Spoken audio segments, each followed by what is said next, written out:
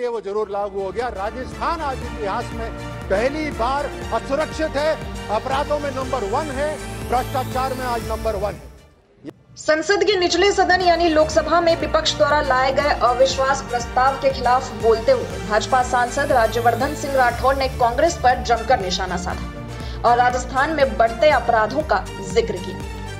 लोकसभा में बोलते हुए उन्होंने कहा कि साल 2018 में भी यह अविश्वास प्रस्ताव लाए थे। तब ऐसे ही राहुल गांधी बार बार चिल्लाते थे कि हिंदुस्तान इतिहास में पहली बार असुरक्षित है। ये बात हिंदुस्तान के लिए तो लागू नहीं हुई, पर राजस्थान के लिए ज़रूर लागू हुई।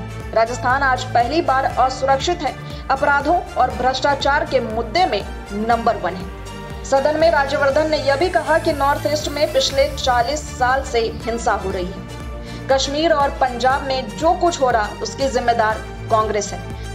राज्यवर्धन ने यह भी कहा कि ये लोग 60 वर्षों से देश के लिए कुछ नहीं कर पाए और ये सब कुछ प्रधानमंत्री मोदी ने सिर्फ़ 9 सालों में करके दिखाया।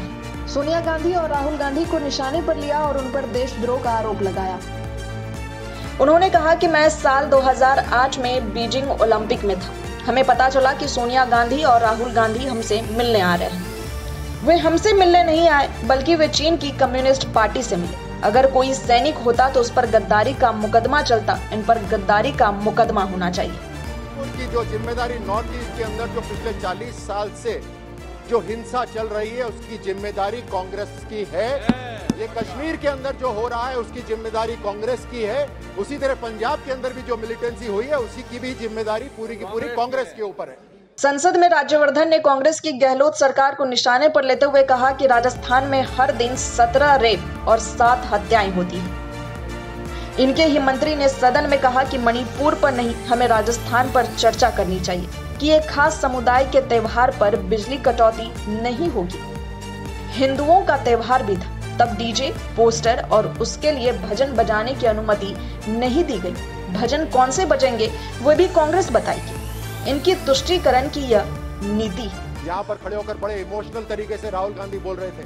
मैं जा रहा था मेरी मैं जु, मेरी ज़ुबान भी नहीं खुल रही थी। वो महिला आई उसने ऐसे पूरी रात अपने बच्चे के साथ बिताई। राजस्थान को भूल गए बिल्कुल। तो कुल मिलाकर बात यह हुई कि राहुल गांधी को अपने ही मुँह की खानी पड़ी।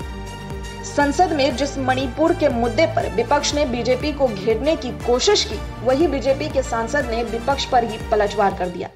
जागरूक टाइम्स के लिए ज्योति यादव के साथ प्रीतम सिंह की रिपोर्ट।